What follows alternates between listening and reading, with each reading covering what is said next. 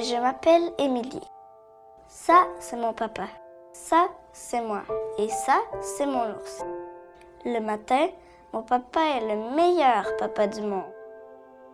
Nous jouons, nous rions et nous nous amusons avant qu'il se rende au travail. Je le serre fort dans mes bras et je lui fais au revoir de la main.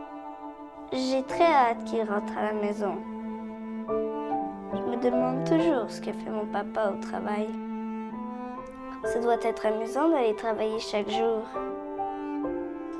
Quand mon papa rentre à la maison, il a l'air très fatigué et triste.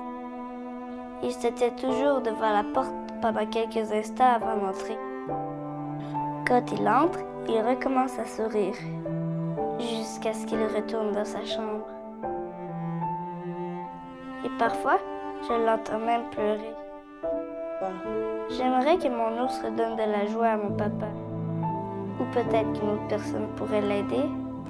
Peut-être une personne comme vous. S'il vous plaît, partagez cette vidéo avec un ami. Merci.